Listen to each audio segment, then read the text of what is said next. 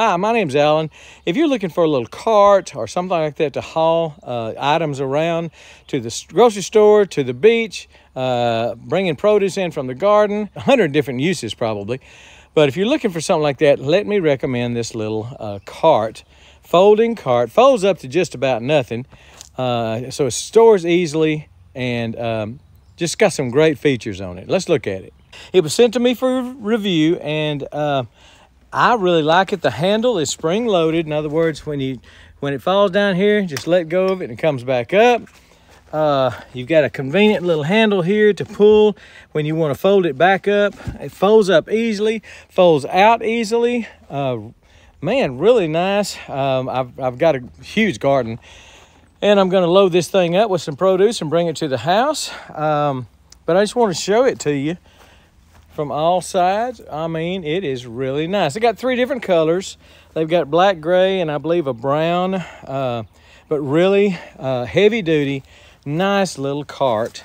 Um, it's got straps on it. I mean, when you fold it up, you can fold it up into a real compact uh, package.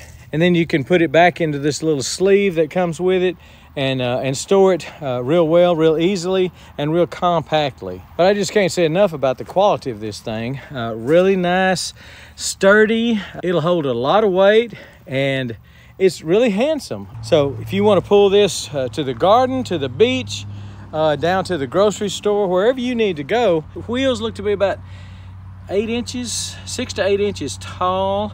Um, so they're not going to get bogged down in, in mud and stuff like that. Uh, it's going to be easier to pull than if they were the little bitty wheels. That, those, that would be terrible. Uh, but this would do great on concrete, uh, great on grass. Uh, I think really good on the beach. Uh, if you want to carry this to the beach, it's just, heck, you could probably put some kids in it and carry the kids around.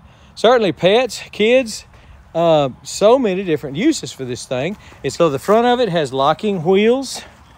In other words, you can, when you set, get it in place where you want it, lock those wheels down like that, and it's not gonna move, not gonna roll off, which is real convenient if you live in a place where it's kind of hilly, or if you're at a grocery store and you, they've got some ramps and things like that, and you need to stop and adjust a load or something like that, it's not gonna run away from you because it's got those locking wheels. So I'm really impressed with it. Uh, glad they sent it to me. Glad I get an opportunity to, to tell you about it. Uh, just really nice little folding, again, folds up to almost nothing uh, folding cart.